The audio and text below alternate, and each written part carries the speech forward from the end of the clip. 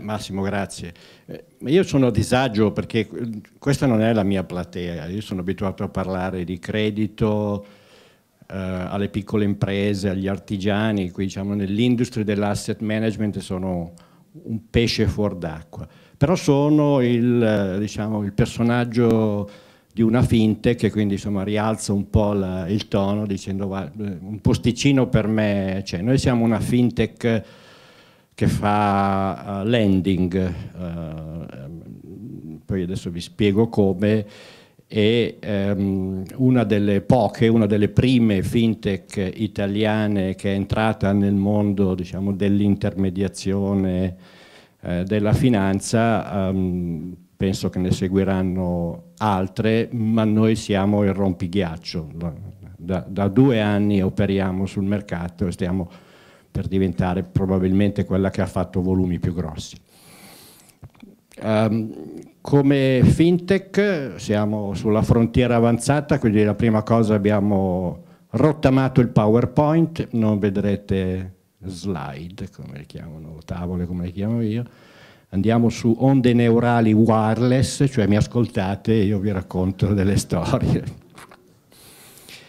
Um, mi tocca dirvi cosa, cos'è Working Voice, che diciamo, potete trovare ovviamente digitalmente. Ah, ho appena chiamato a buttare via la fotocopiatrice. E, e devo farlo alle 6 di sera in un modo uh, perlomeno divertente. Allora, noi siamo un sito di incontri voi state pensando a delle cosacce. Siamo un sito di incontri in cui si incontrano, uh, indifferentemente dal da genere, um, due uh, soggetti. Uno è una impresa tendenzialmente piccola che ha bisogno di liquidità, L'altro è un investitore, quindi uno di quelli che interessa a voi, che ha liquidità ma non sa come investirla senza portare a casa dei tassi negativi. Non si conoscono, nel sito di incontri evidentemente interagiscono, si scambiano una stretta di mano digitale e eh, lo scambio che avviene è uno scambio di una fattura, un oggetto che è vecchio come il Monte dei Paschi o o le banche principali, quindi i mercanti, no?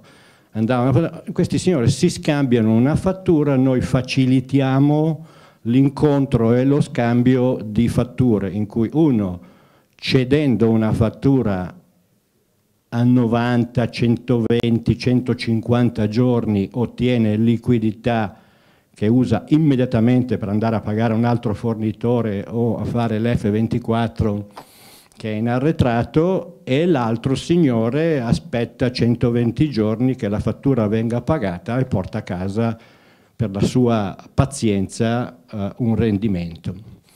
La merce che, che io discuto e che vedo e che stiamo trasformando in quello che voi chiamate un asset class sono fatture di cose vere, di cose reali, di tutto e di più non avete mai visto una fattura di 83.000 euro di piovre? Io l'ho vista l'altro giorno. Ho cercato di capire quante sono le piovre, sono credo 15 bancali di piovra. No? Questa è economia reale, ma c'è qualcuno che fa una fattura di 83.000 euro di piovra e viene pagato però a 90 giorni e vorrebbe anticipare perché ha una grossa uh, sete di liquidità. Um, quindi due interessi che si conciliano in, in, un posto nuovo, virtuale, molto digitale, ma che in fondo ragionano di cose molto terrene, molto, molto concrete. Um, in questo scambio c'è un signore che paga un prezzo o se volete, come vi piace di più, un tasso e uno che lo guadagna. E se io vi dico che il Signore che è il, vostro, uh, è il vostro interesse, se vi dico che questo Signore comprando fatture a 70 giorni si porta a casa il rendimento dell'8%, forse del 9%, voi cominciate ad alzare le antenne. Noi stiamo creando un asset class con 70 giorni di duration e con un rendimento del 9% su base annua. Chi ha in mente un asset class che rende questo, che non sia una, diciamo, nei dintorni dell'usura, alzi il dito. Mm? Ma la nostra non è usura, sono fatture reali di, eh, emesse da imprese eh, che vanno diciamo, all'interno dell'economia reale. Dov'è il trucco? Non c'è nessun trucco, maledizione, non siamo dei maghi, il problema è che le piccole imprese pur di avere i soldi sono disposte a pagare quei tassi perché l'alternativa o non ce l'hanno o se vanno in banca è anche più costosa e se chiedono al cliente no, di essere pagati prima sconto cassa 3% su due mesi che se lo moltiplicate per 6 fa 18%. Quindi di tutte le alternative che hanno quella di pagare l'8% per avere i soldi prima è probabilmente la più ragionevole. E ci sono 500.000 di questi animaletti piccoli, che sono gli artigiani, le piccole imprese, che sono mediamente interessati ad avere liquidità in via anticipata. Siamo una fintech, siamo dei mercanti, dei, un sito di... non lo so, però questa cosa funziona perché ha delle basi molto concrete. E se ci pensate come asset class, perché poi io ho la sensazione che tutta questa cosa interessantissima, mi è piaciuto tantissimo, però mi sembra una guerra tra poveri. Qui si discute poi di commissioni, non commissioni, su rendimenti vicino allo zero. Noi continuiamo a incontrare investitori che sgranano gli occhi quando vendono il rendimento che esce da queste fatture di piovra o, o, o, o di lavorazioni metalliche, tutto quello che fa questo magnifico paese da un punto di vista imprenditoriale. No? Quindi questa è la storia, perché bisogna stare nel mondo dello storytelling, no? questa è la storia di, di come nasce l'idea su rifare delle cose che si facevano in 500 anni in modo io sono stato tanti anni in banca e la legge che vigeva era, e temo che sia ancora, ma si è sempre fatto così, perché vuoi cambiarlo? Noi l'abbiamo cambiato in, in, modo molto semplice, tiriamo dritti dei tubi che loro fanno storti, quando dobbiamo fare una notifica schiacciamo un tasto, parte una PEC, in banca vanno ancora a fare la raccomandata imposta, non, non so bene per quale motivo. Però non è tutto così eh, facile e semplice, perché che cosa hanno o cosa non hanno le fintech che invece gli incumbent dicono quelli della consulenza? Noi non, siamo, non abbiamo reputazione, noi non siamo conosciuti e quando si parla di soldi, che sia per investirli o per prenderli, eh, c'è un tema di fiducia che è molto importante. Il sito di incontri non è un sito web, il sito di incontri è come Airbnb. Quella è la mia idea di community anche finanziaria, perché su Airbnb chiunque l'abbia usato sa benissimo che va a vedersi tutte le informazioni per capire se, se il padrone di casa eh, diciamo, è uno che si comporta bene, che risponde in fretta, no? poi vedo tutte le fotografie. Ho degli elementi che creano la fiducia e dall'altra parte il padrone di casa vede no, il rating di quello che l'ha affittata, perché dopo che ne ha distrutte due e probabilmente la terza non gliela affitta più nessuno. Noi abbiamo lo stesso problema. Se vogliamo creare un asset class trasformando la fattura della piovra in un investimento. Noi dobbiamo spiegare agli investitori, dobbiamo dargli un ambiente molto più complesso che non è sempre digitale.